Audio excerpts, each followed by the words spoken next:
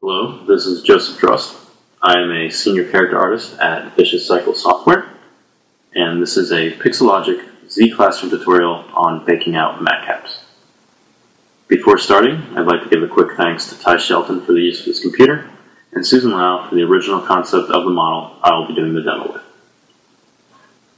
This tutorial is going to cover how to take a simple texture and using ZBrush generate out elaborate details with the matcap system then baking these details out into texture maps that can then be applied to the final model.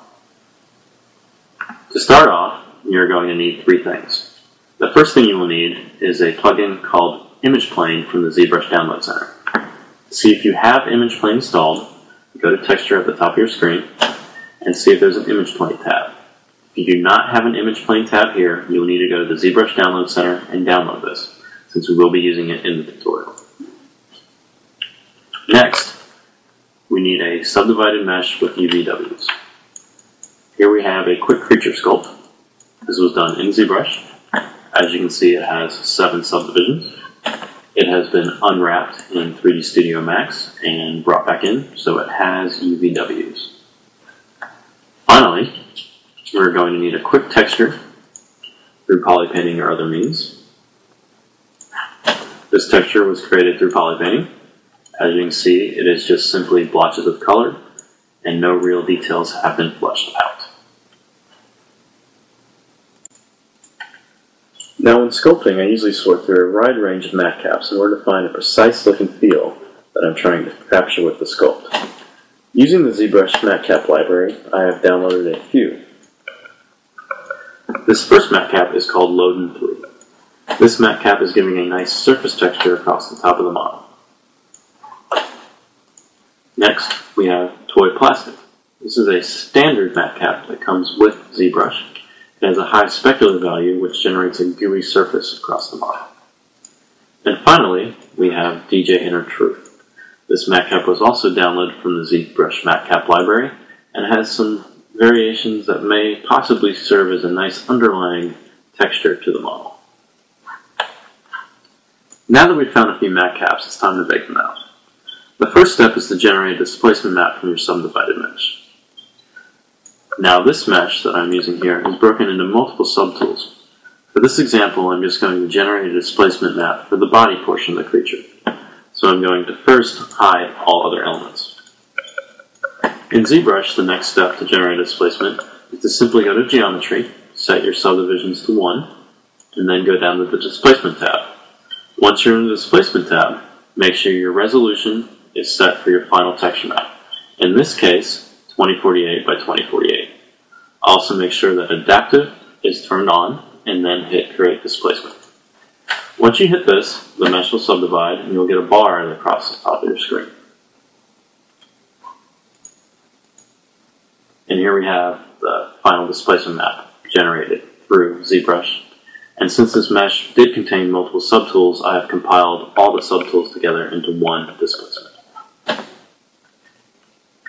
The next step is we need to crop and fill our canvas to match the texture size in which we're going to end up with, which is a 2048 by 2048.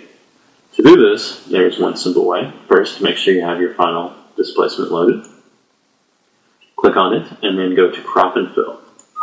Hitting crop and fill will resize your entire document to the size. So now we have our document size 2048 by 2048. Now that we have our document size cropped to the size of our texture map, we're going to first clear the canvas by hitting Control N. As you now see, we have a gray background. We're going to change this gray background to black, so we're going to switch color, document, hit the document background color to black, and make sure the range value is set to zero.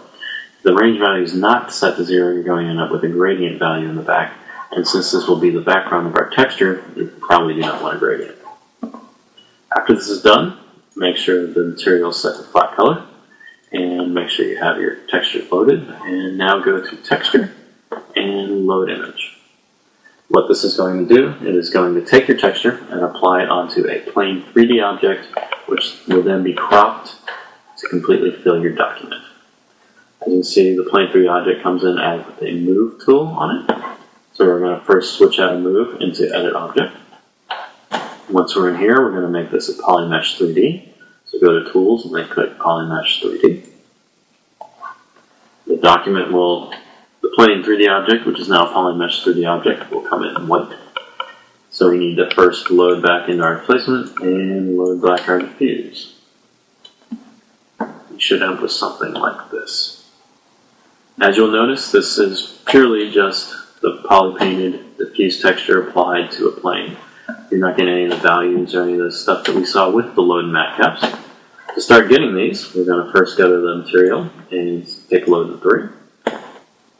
So now we end up with a version that's pretty much the color Loden 3 with the details of that poly paint diffuse underneath it. But still no values of any of the stuff that we saw before. So to get those, first we go to the displacement tab over here, and there's an intensity slider. We're going to take this intensity slider and first type in the value of, say, 20, and hit enter. Now you'll see that this intensity is now taking the displacement and applying it to the actual plane. So you see we're starting to get some of these values of the Loden 3 actually baked into this object. Since this is a slider, you can change this to whatever value you want and it'll update on the fly. So typing in 10 will give us less, and say typing in 30 will give us a little more. So just keep playing with that value until you end up with, you know, some value that you like. So I think 30 is probably going to do from this. We got some areas I'm going to clean up, but it looks pretty decent. Now, to show you the power of this, there's three things that you can modify right now in this current state. The first is the intensity slider. The second is the mat cap. So first we can take any mat cap we have. So there's toy plastic. So now we get all these slimy gooey elements. We also have DJ Inner Truth, which was the other one we had. And you can see we're not getting these little reddish areas that were actually pulling out before on the final model, and now it's applied to this map. When these are actually loaded in, you can also edit the material value. So if you go to the material up here, now edit these modifiers, you can change the intensity of these. So say if I want this DJ Inner Truth to be a little bit brighter. Oh, there we go. Now we just keep changing these until we get exactly what we want out of the material. The final thing